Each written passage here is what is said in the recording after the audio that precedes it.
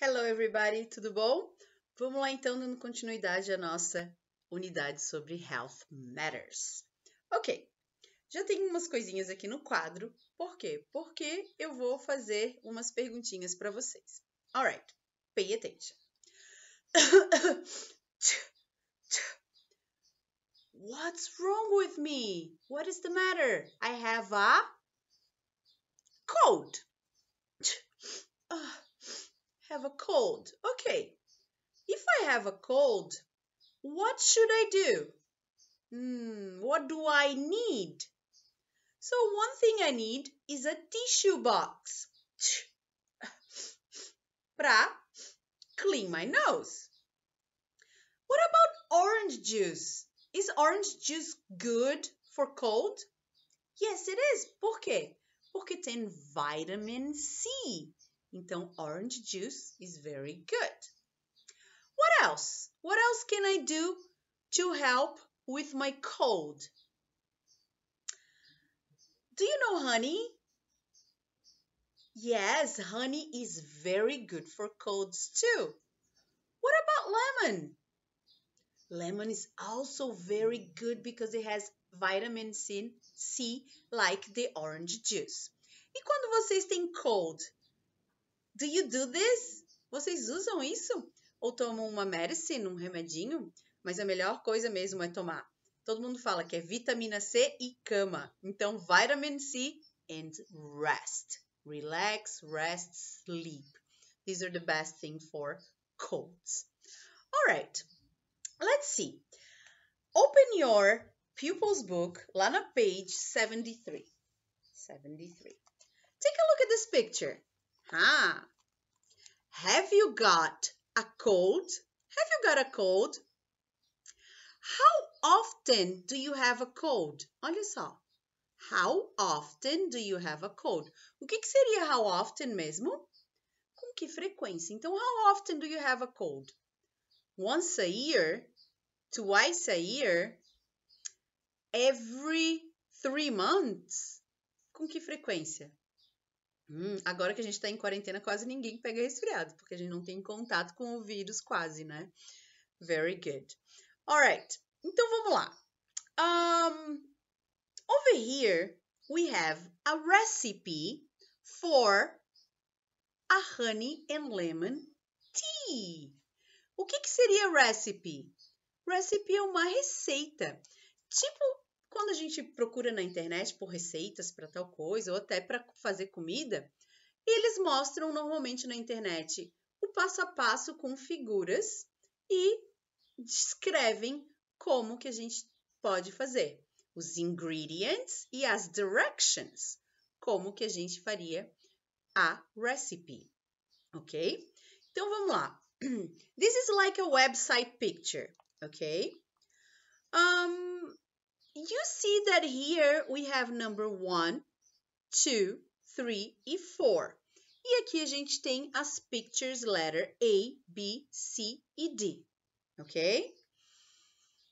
O que, que a gente vai fazer? A gente vai listen to the audio, vocês vão ler, e após o áudio e ler, vocês vão associar os numbers do passo a passo de como fazer um honey and lemon tea. E aí, vocês vão ligar as figuras com os numbers, vão botar os números em cada figura sobre qual desses passos que as figuras estão falando. Ok? Good? Alright. Então vamos lá escutando e acompanhando com a leitura. Pupils Book, Unit 6, page 73. 12. Read and listen, then match. Para ser mais fácil, para facilitar a vida de vocês, eu vou treinar o vocabulário antes. A gente já viu honey, né? Já vimos honey. Já vimos lemon. E agora, what is this? Quem é que sabe o nome disso em inglês? It's a kettle. It's a kettle. A kettle to heat the water. Então tem water dentro, dentro da kettle. What is this? It's a cup or mug. And this, it's a teaspoon. Por que, que é teaspoon? É uma spoon, mas é uma teaspoon, que é uma colher de chá, que nem a gente usa no português. It's a teaspoon. Ok? Depois a gente tem uma outra palavra que essa pessoa está fazendo aqui, ó. O que, que ela está fazendo? Ela está squeezing the lemon. So, squeeze é ok? Então, vamos prestar atenção, vamos lá.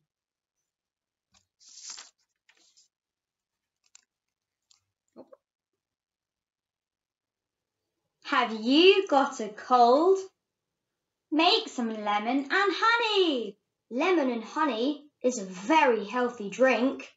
It's good for colds and it's easy to make. Try this simple recipe at home. 1. You need a lemon, some honey, and some hot water. 2. Cut the lemon, squeeze the juice into a cup. 3. Add some honey. 4. Add the hot water. Be careful, an adult can help. It's ready.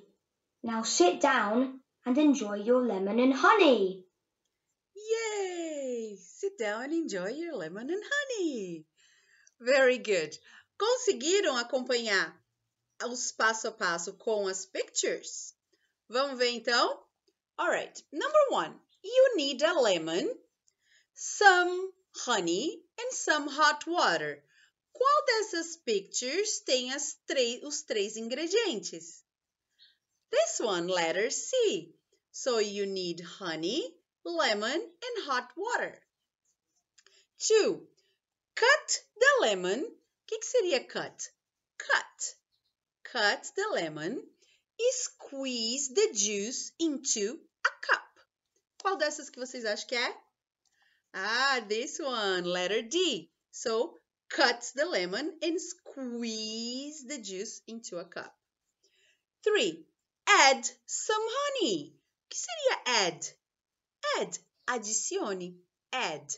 Add some honey. Letter A, you adding honey to the cup. Four, add the hot water. Be careful. An adult can help. So, letter B, add the hot water. Então, os passos são one, two, three, four. Conseguiram? Essa receita é muito fácil, né? Quem aqui que já tomou um, um honey and lemon tea? It's very good. A minha avó fazia isso quando eu estava doente. It's very good for you. Alright, now, o que, que a gente vai fazer? A gente vai fazer a number 13. O que, que seria a number 13? We are going to read again and you're going to answer true or false. Então, a gente vai ler essas perguntinhas e vamos responder true or false. Vamos fazer juntos, ok? Eu vou dar um tempinho para vocês olharem rapidinho no texto, porque o texto é bem curtinho, né? Então, number one. Lemon and honey is a healthy drink. Isso aqui nem precisa olhar no texto. A gente já aprendeu o que é healthy e o que vocês acham. Is true or false? True. Very good. So, honey, lemon and honey is a healthy drink. Two, it isn't good for colds. Honey and lemon isn't good for colds. True or false? False. Por quê? Porque is good for cold. Three, it's difficult to make. True or false? Do you think it's difficult to make? No, it's very easy. Então é false. Number four, you need hot water for the drink. Do you need hot water or cold water? Hot water. Então é true. You need hot water to make the tea. Tá vendo a fumacinha saindo aqui? It's hot. Alright. E aí, gostaram? Gente, o que, que a gente vai fazer agora? Um, a number 14 era pra gente fazer uma dinâmica de grupo na sala, mas a gente vai fazer diferente. Vocês vão responder todas essas perguntas de acordo com vocês no caderno, ok? Até pode ser, pode ser aqui do lado porque cabe, ó. One. What healthy food or drinks can you make? O que, que vocês podem fazer? A sandwich? A um, smoothie? Um, coffee? Tea? O que, que vocês podem fazer? Conseguem. Two. Can you make a salad? Yes or no? Three. Can you make a fruit salad? Four. Can you make orange juice? And five. Can you make a sandwich? Hmm. Ok. Alright, então vamos responder isso. A gente vai corrigir lá na aula do Zoom esse. Então agora a gente vai para o nosso activity book, lá na page 59. Ok? Activity Book, page 59. O nosso homework que vocês vão fazer e depois vão assistir a aulinha para correção. Então vamos lá. Number 8. Read the paragraph and write the words. Então tem algumas palavrinhas aqui. Vocês vão ler esse parágrafo e vão completar com as palavras de acordo com o contexto, ok? Vou ler as primeiras, a primeira frase para vocês uh, entenderem. Apple and nut salad is my favorite salad. It's healthy because apples and nuts are good for you. I sometimes have this salad for. Qual dessas palavras vocês acham que? For wash? For yogurt? For lunch? Or for need? Tá meio óbvio, né? E assim vocês vão completar o resto, ok? Number nine. Answer the question. De acordo com vocês, vocês vão responder essas perguntas com respostas completas. What's your favorite healthy food and drink? Vocês vão responder: My favorite healthy food is or drink is, que vocês quiserem botar. Two, why is it healthy? Por que, que é healthy? Three, what do you need? O que, que você precisa para fazer isso? Four, How do you make it? Como é que se faz? Five. How often do you eat or drink it? How often? Once a week, twice a week, three times a week, once a month? E assim vocês vão responder.